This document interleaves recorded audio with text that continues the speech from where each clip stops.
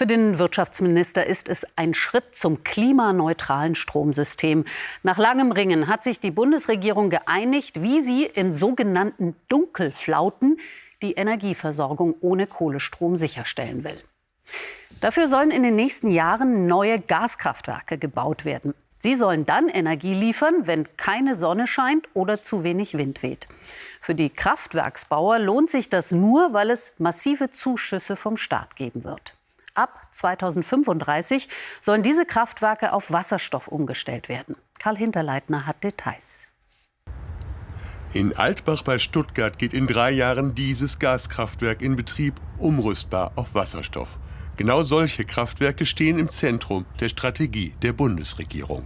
Erstmal begrüßen wir die Tatsache, dass die Kraftwerkstrategie heute veröffentlicht wurde. Das ist ein sehr wichtiger Schritt in die richtige Richtung. Natürlich verstehen wir, dass es noch ein weiter Weg ist bis zur Implementierung. Ein Weg, der noch über zehn Jahre dauert, bis der endgültige Umstieg auf Wasserstoff beginnt. Ein langwieriger, aber notwendiger Schritt in die grüne Transformation, meint Robert Habeck. Nicht immer scheint die Sonne und nicht immer weht der Wind. Und die Konsequenz ist, wir brauchen grundlastfähige Kraftwerke. Das sind im Moment fossile Kraftwerke, Kohle, Steinkohle, also Braunkohle, Steinkohle und Gaskraftwerke. Und die sollen sukzessive aus dem Markt gehen. Das wird auch so kommen. Bis zum Sommer soll es einen Kapazitätsmechanismus geben, der finanzielle Anreize für Betreiber setzt, eine Art Bereitschaftsdienst für stromarme Stunden vorzuhalten. Für die FDP ein richtiger Weg. Ich bin sehr zufrieden mit der Lösung, denn die Lösung beinhaltet einen Kapazitätsmechanismus, das heißt einen günstigen Zubau von Kraftwerkskapazitäten. Jetzt muss es schnell in die Umsetzung gehen, damit wir saubere und sichere Energieversorgung auch im Winter haben. Die Opposition widerspricht, die Pläne der Regierung seien unausgegoren. Da bleiben alle Fragen offen. Was erwartet die Investoren? Wie wird ausgeschrieben? Wie wird das finanziert? Wir haben nach wie vor keine Klarheit. Die Hängepartie geht weiter. Mit rund 16 Milliarden Euro Kosten rechnet die Regierung für die nächsten 20 Jahre. Ob das am Ende wirklich reicht, ist aber noch offen. Viele Bürger, Kirchen, Gewerkschaften und Arbeitgeber rufen dieser Tage dazu auf, die Demokratie zu schützen. Jetzt haben sich auch Nachkommen deutscher Widerstandskämpfer wie Bonhoeffer oder von Stauffenberg zu Wort gemeldet mit einem dringenden Appell. Sie fordern, Zitat, der neuen Rechten in unserem Land und europaweit die Stirn zu bieten. Alle sollten sich verantwortlich fühlen, die liberale und rechtsstaatliche Demokratie zu bewahren und zu verteidigen. Auch der Bundeskanzler warnte heute vor Rechtsextremismus und Rassismus bei einem Treffen mit Migrantenverbänden im Kanzleramt. Frank Buchwald. Frankfurt heute Abend. Protest gegen Rechtsextremismus sowie in vielen deutschen Städten. Angst um die Demokratie treibt Tausende auf die Straße. Wer in der Demokratie schläft, wacht im Faschismus auf und wir sind auf dem Weg dahin. Rassismus sollte kein, kein, keine Chance in Deutschland haben. Ist ja auch irgendwie total schön, dass so viele Leute da sind. Emotionen und Sorgen, die auch den Kanzler bewegen. Wir lassen nicht zu, dass Extremismus und Intoleranz unsere Gesellschaft spalten.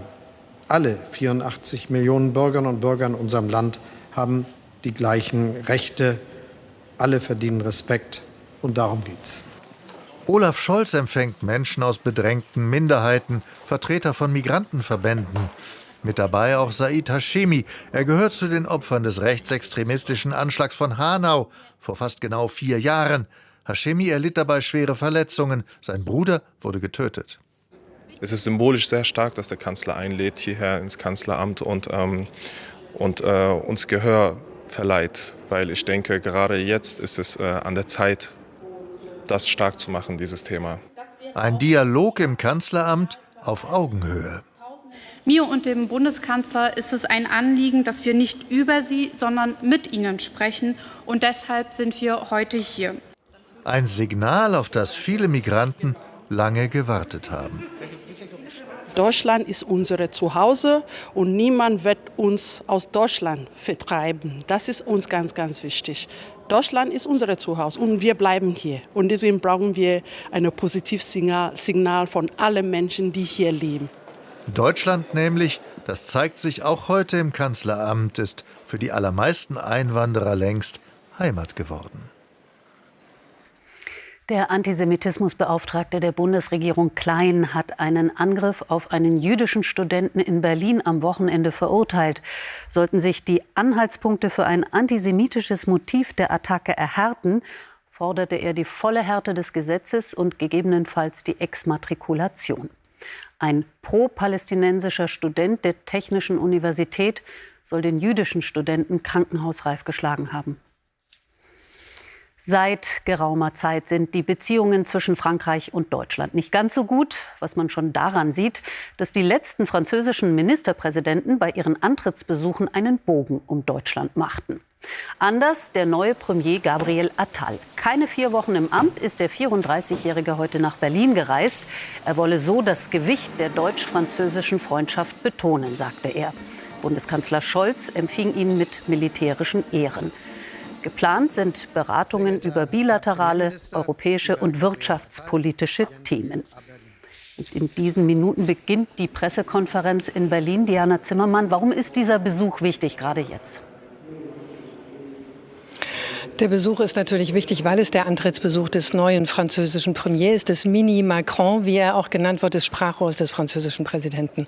Zwischen ihm und Olaf Scholz sind die Beziehungen nicht besonders gut vorangekommen, aber sie sind natürlich wesentlich.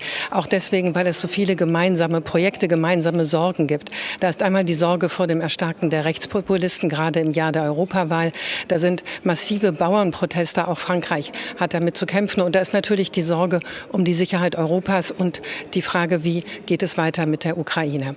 Olaf Scholz hat in der Vergangenheit Frankreich mehrfach ermahnt, mehr zu tun für die Ukraine. Gabriel Attal hat es ja gerade zurückgewiesen. Die Hilfen Fran Frankreichs an die Ukraine seien massiv und von sehr großer Qualität. Wichtig ist es beiden, auch an die USA zu signalisieren, wir werden in unserer Unterstützung für die Ukraine nicht nachlassen. Das ist eine Botschaft, die Olaf Scholz, wenn er am Donnerstag nach Washington reist, auch an Präsident Joe Biden mitnimmt nehmen möchte.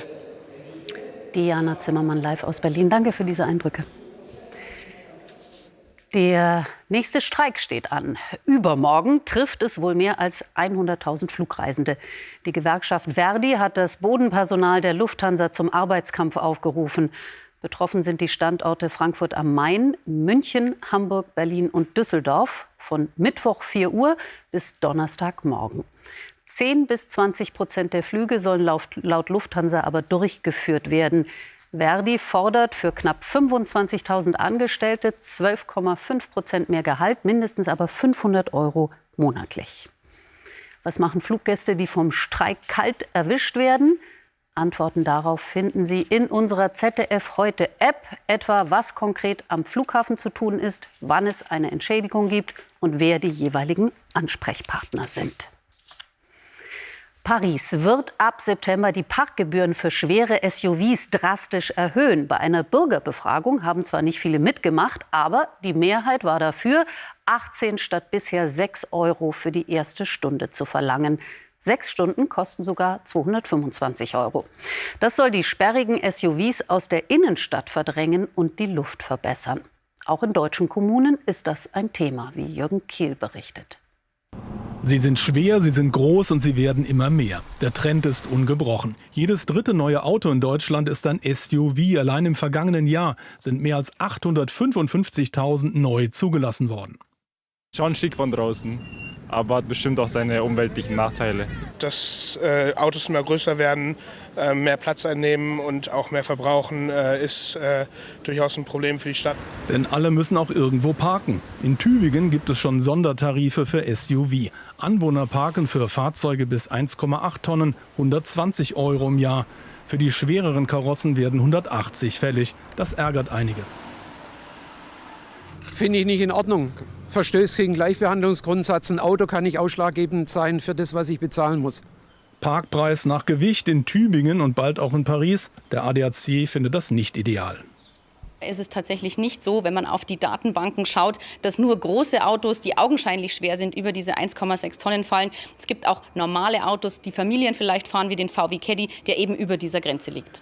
In Hannover fürchtet man deswegen auch Klagen. Man sucht eine Lösung. Die Autogröße könnte hier bald über den Parkpreis entscheiden. Ob es nach Fläche, Länge oder wie eine faire Bepreisung letztendlich aussehen kann, das muss dann entlang dieser rechtlichen Möglichkeiten diskutiert werden und dann auch politisch beschlossen werden. Ganz klar ist aber, dass wir nach Verbrauch der Fläche auch eine andere Bepreisung brauchen. Noch gibt es in Deutschland nur wenige konkrete Pläne, SUV-Fahrer zusätzlich zur Kasse zu bitten. Die Entscheidung von Paris befeuert aber auch hierzulande die Diskussion über den Stadtverkehr der Zukunft.